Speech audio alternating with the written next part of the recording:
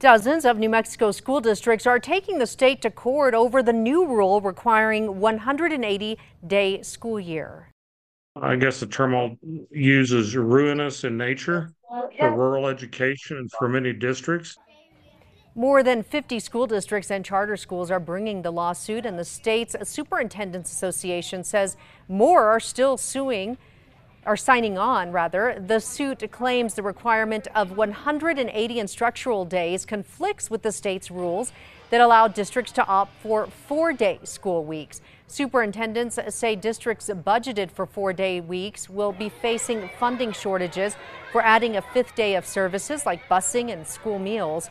They say they also worry the change will put a burden on families, especially in rural areas, and risk driving away staff. The districts argue the PED overstepped its legal authority and that decisions like this are not a one size fits all. We believe the best decisions for students are made closest to the students because you know what? Local boards of education know their know their students, they know their needs and they provide provide for that.